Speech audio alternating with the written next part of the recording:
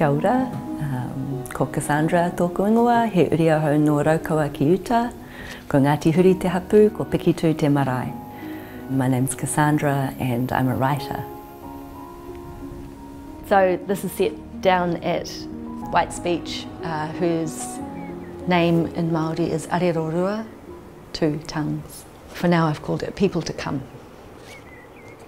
At Two Tongues, Tui have taken up residence. They like it here, though they weren't made for salt or the chop of waves. They reckon it was named for them, a clue laid down in the naming times to summon them. And so, in the change place times, they came, the birds of the two syrinxes, the special ones, born to duet with themselves doubled, like the wave rock symbols bookending this beach. Quite a magical place. I will tend to think I'm going for a walk just for the walk and lose myself in it, in that slow time. But of course, once you start losing yourself, everything rushes in. And naturally, all sorts of impressions and um, from those impressions ideas and sparks of all sorts of things yeah start forming. So uh, if I have something on me I invariably whip it out be it a phone or a pencil and paper and start recording and jotting the things that are coming. Yeah. Um, it's kind of a relay between that and putting them away to just be here. Because it's when they're away and I'm just being here that everything comes. But then the writer in me wants to capture the everything.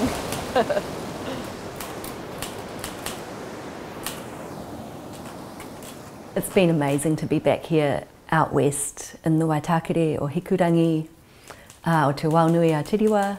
It's definitely had a feeling of homecoming for me.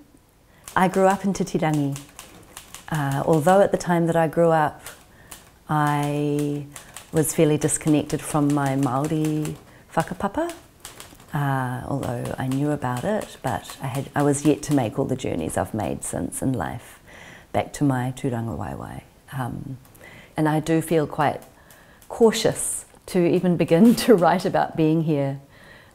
I can't help but always be really conscious of the, the many interests and bodies from the mana whenua, te kawerau maki, and their kaitiaki role, uh, and then the rangers and Auckland Regional Parks and their uh, custodian roles as well, and the, um, the deep, thorny complexity of what this land, this whenua, this ngahere, is to people.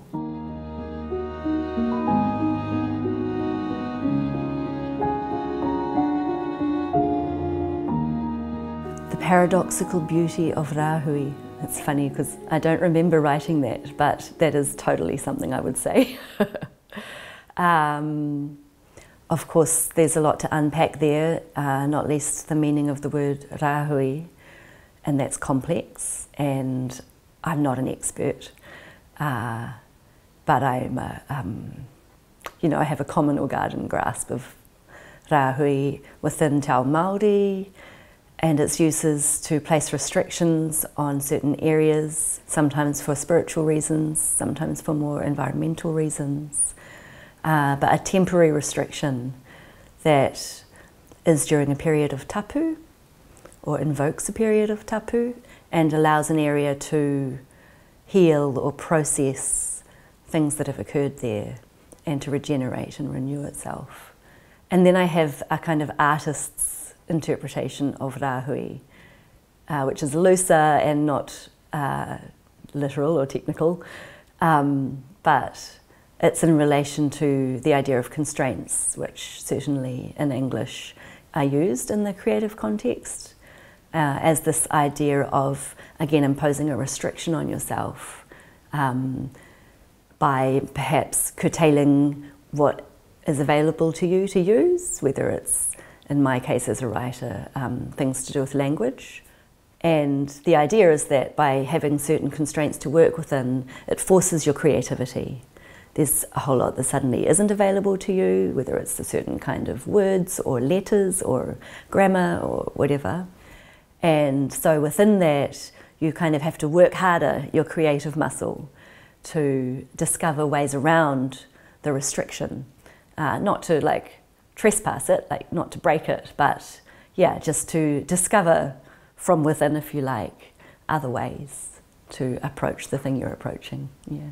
I'm in a state of inquiry, I guess, into how we do, it's always how we do these things in Māori and then what happens when you take them into English because English changes everything. Uh, it really does.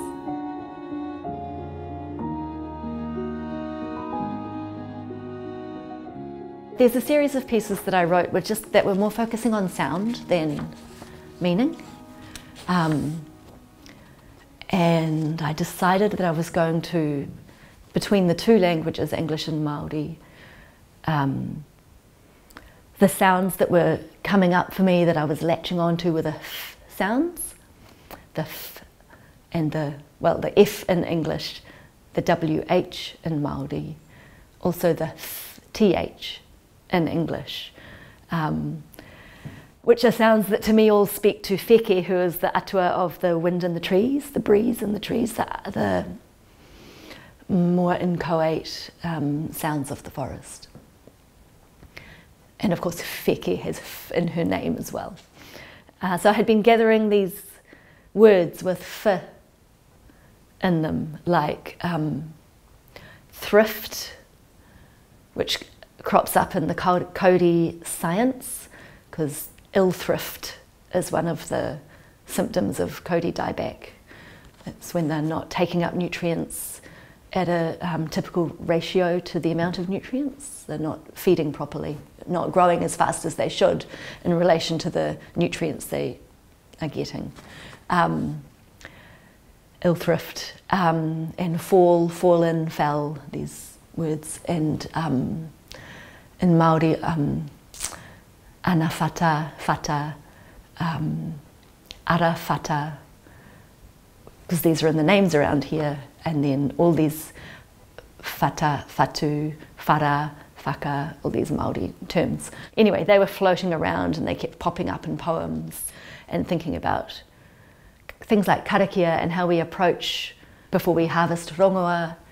Um, for example, we do karakia before we harvest the earth for the earth paint, we do a karakia. And there are karakia for these things, which I do use. Um, but sometimes when I go and talk to Tāne, I don't have a karakia for whatever it is. So I just, I'm busily writing my own, making up little chants that are sort of meaningless, but are just uh, to mark moments and invoke a relationship. So this is one of those. Befell te thrift e tū e, kua whara te omata e tū e, e wheroia te ograph, e ngā thrift, e ngā fall, fatu fata e tū e tahi rua toru wha hiau e hi. I mean, the vast idea is to invent new language. That's the, that's the vast idea. Um, to find new language to express things that haven't yet been expressed, to forge new paths for us who need new paths. Um, yeah, that's a lifelong journey. And at the same time, I say it modestly, like, you know, it's hard work and I feel stupid every day trying to do it. But, you know, you inch forward, you inch forward by doing this practice. And I'm someone who has lived under the constraint of being a solo parent, working for a long time and not had the time, the luxury to explore in this way. Like it's kind of been all coiled up inside me for a long time the opportunity as an adult to research this land in a different way from my felt experience of it as a kid and to learn the stories and the histories is amazing.